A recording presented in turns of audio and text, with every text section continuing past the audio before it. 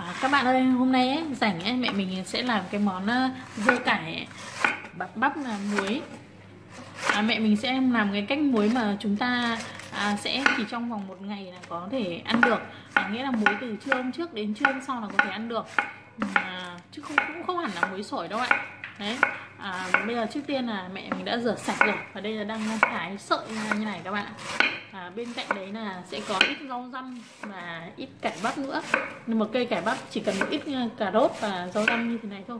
Cái cà rốt thì chỉ để có tác dụng làm cho dưa cải của chúng ta nó sẽ đẹp mắt hơn ấy khi mà chúng ta ăn ấy. Rửa sạch nhá thái nhá, ờ, à, sau bỏ hết cái lá xanh ờ, mà già bên ngoài đi cũng được nhé à, cà rốt này mình à, rửa sạch và mình cũng bào sợi các bạn ạ. Chỉ cần một ít cà rốt bào sợi loáng thoáng này thôi để cho cái dưa của chúng ta đẹp hơn. Còn rau răm thì mình à, cũng đã rửa sạch đây này. Và mình ngắt một ít như này lá như này. Các bạn thái nhỏ với ít lá rau răm ra sau đó mình sẽ cho muối cùng thì dưa của chúng ta nó sẽ thơm hơn ngon hơn đấy muối dưa cải bắp ừ, phải bắt buộc phải có rau răm các bạn nhé mà mình muối ấy thì đơn giản lắm ạ. À, vì để đảm bảo dưa nó sạch hơn ấy mẹ mình đã rửa lại một lần nữa và đã trần với cái nước muối loãng để cho dưa của chúng ta nó sạch hơn và khi muối không bị khú ấy. Và nó sát khuẩn đấy bây giờ mẹ lấy một ít nước ấm này. À đây là nước à, bên nóng này bên lạnh này.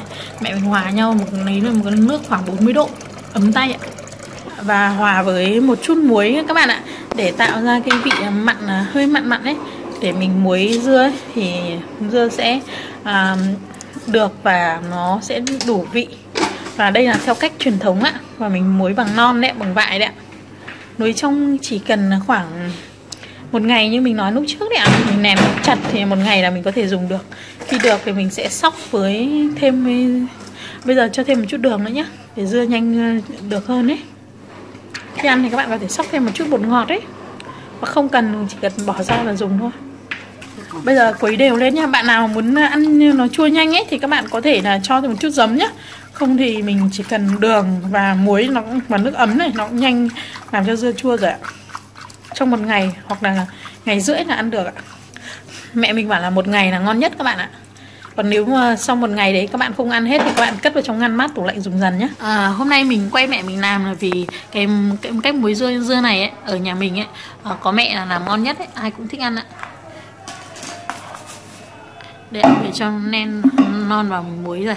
Một ngày sau là dùng được nhé và bây giờ mình sẽ dừng video nhé hẹn gặp lại các bạn ở các video tiếp theo của mình ạ.